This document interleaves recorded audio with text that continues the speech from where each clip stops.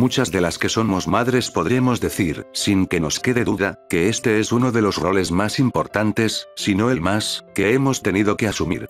Son tantos detalles, tantas creencias, opiniones, tantos errores que cometemos a lo largo de la maternidad, que no nos alcanzaría el tiempo para listar tanta información. El ser madres representa para un gran porcentaje un placer que con facilidad se convierte en una carga por la manera en la cual es llevado.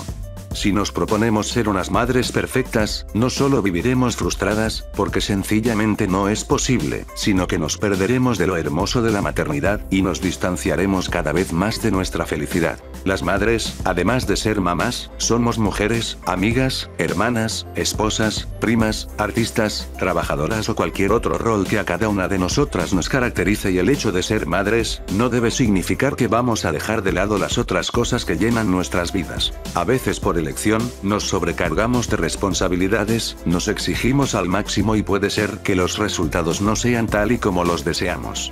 Buscando la perfección matamos la naturalidad, la espontaneidad, la posibilidad de crecer con nuestros errores. No hay un deber ser para ejecutar el rol de madres o padres, son creencias que parten de cada quien, que medianamente pueden estar respaldadas por una colectividad.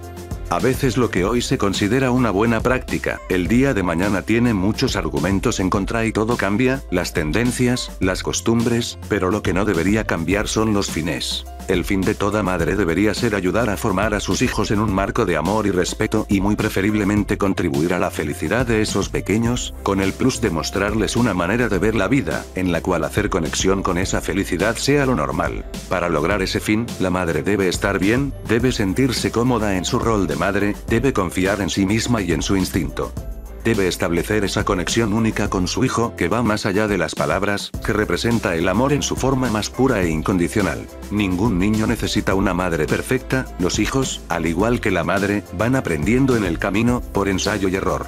El querer ser una madre perfecta, normalmente no responde a una necesidad de un hijo, sino a algo autoimpuesto o por querer demostrarle a los demás, de lo que somos capaces como madres. A la única persona a la que debemos impresionar con nuestra conducta, es a nuestro hijo, que se deslumbre con una madre que cuida de sí misma, que dedica tiempo a hacer lo que ama, que hace lo mejor cada día para ser una mejor versión de sí misma, que es feliz siendo su mamá y que lo ama con todo su corazón. Alimenta ese nexo único con esa personita especial, sin que ello genere en ti ningún tipo de presión o pensamiento de que debes ser perfecta. Los mejores resultados los obtendrás llenando de amor cada momento que puedas, en lugar de exigencias. Disfruta ser madre, de ser mujer, de ser feliz. Y tu hija roba disfrutará de ti.